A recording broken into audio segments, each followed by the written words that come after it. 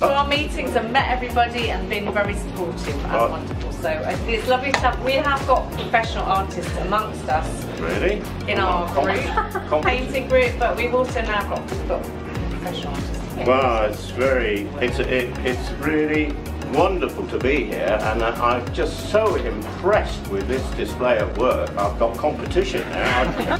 the artists, of course, because without them, we wouldn't be here. We wouldn't have an exhibition, and we wouldn't be gathering like this on this wonderful occasion.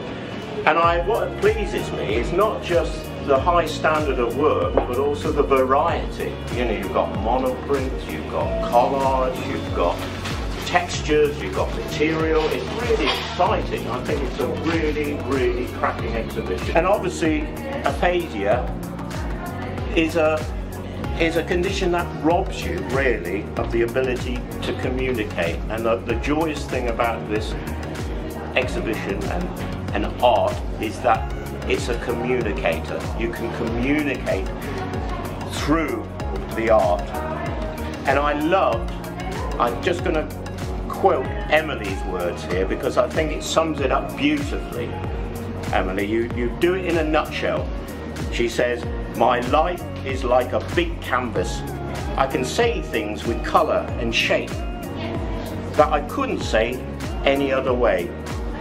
Things I had no words for. And I think that says it all really. Uh, art, whatever form it takes, is a gift to us.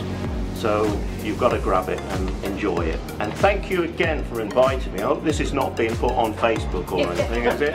Oh dear. I'm worried about that.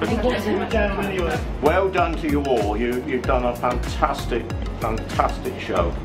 And uh, work, keep working away at it. And next time, perhaps you'll have a big gallery space. Oh, we will. We Yes, will. work on it, work on it. I'll have words with them. Thank you. Thank you again.